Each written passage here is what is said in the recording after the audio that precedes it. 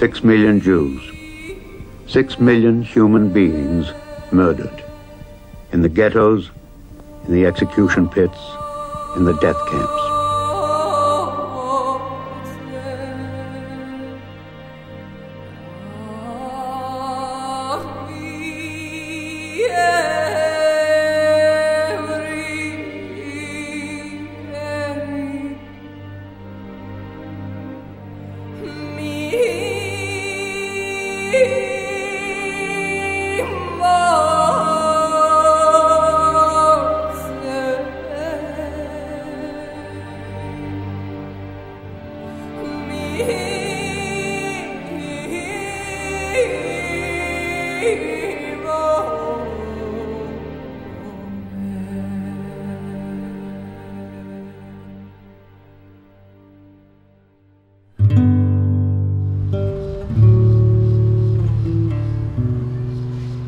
We have 5 million Jews in America. 50% of them will disappear. Some rabbis say this is uh, a crisis, this is a, a, a, spiritual holocaust.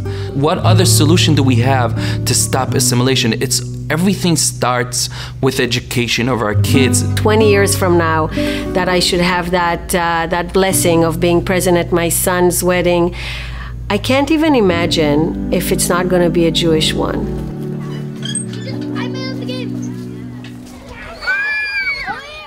We know that most of the Israeli community and the Jewish community in South Florida are sending their kids to public schools, and we know what that means.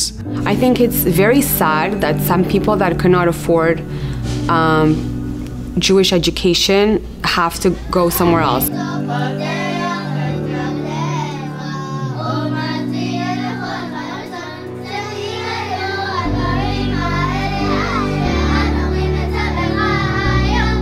יש לנו ילדה בת ארבע שהייתה שרצינו לשים אותה בבית ספר יהודי. לא מצאנו משהו שיכול... שיהיה נוח לנו לכיס, הכל היה מאוד יקר. בתי ספר היו פה מאוד יקרים של הדתיים או היהודים. לא, לא, לא מצאנו לנכון איפה לשים אותה, ומאין ברירה שמנו אותה בבית ספר של גויים.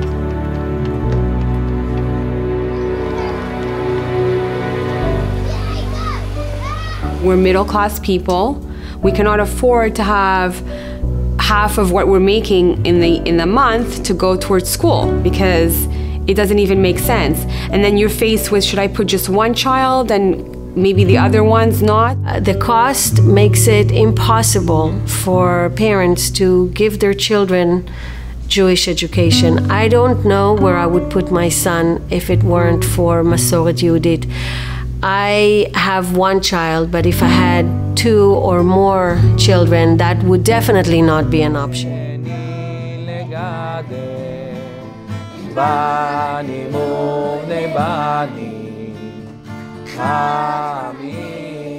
Five years ago, um, I get a phone call from my friend, one of the founders of the school, and he says, um, We have this great project. The idea was to open a school, affordable school. There's around 60,000 Israelis living in Miami, South Florida. And um, one of the things we saw is that 90% of those families are sending their kids to public schools, which means that those kids don't have a Jewish future they will assimilate. When we came here, the, uh, Masoret Yehudit was just about a month old. It was new, there were only 30 kids. Um, but we're so glad we did it.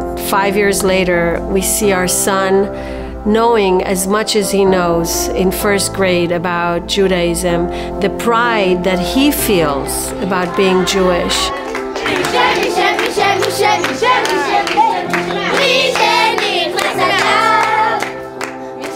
it melts me when I see my old, my four-year-old praying in Hebrew, which is a huge thing for me, you know. So that's what it is. When your child is in the right environment, that's that's basically the outcome, and I'm happy for that.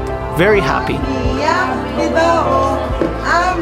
המקום הזה נותן לך את הכל. כל מה שאתה רוצה, כל מה שאתה צריך. הוא מספק לילדים יצירה, ומסורת ויהדות.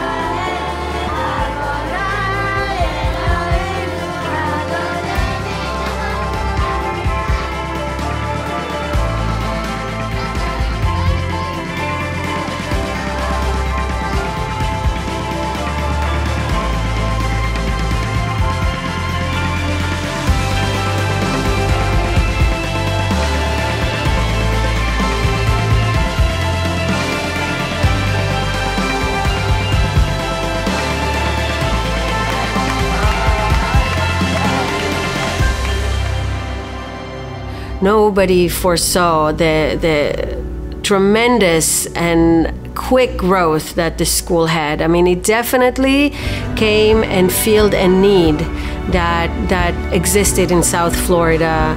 We are now over 200 students, over 200 students in less than five years. It's unbelievable. It's it's I think it's astounding. It just speaks volumes to what the need is and what Masoret Yehudit does to fulfill this need. Uh, Masoret Yehudit was founded to give an affordable, quality education to students in South Florida.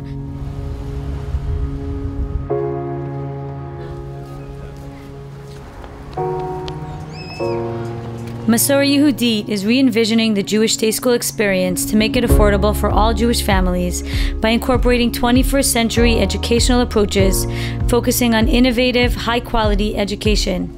Our team of experienced teachers and professional educators have developed an innovative program that incorporates technology into the learning. We are committed to excellence in Judaic and secular studies and strive to foster in our students a love of Torah and mitzvot, a deep commitment to Eretz Yisrael. I don't think we're compromising in any way on the affordability. I, I, I see the organizational level, I see the um, in, all the information that the teacher provides us on a daily basis of what our chil children is, are doing.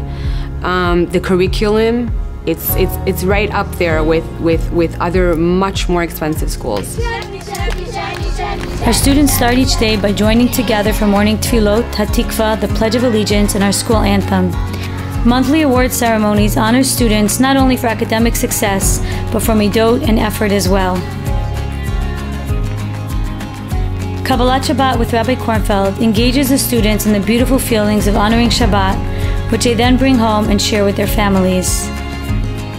The influence that we have on the students has a direct impact on the families who are losing their Jewish identity and are now reconnecting to their heritage.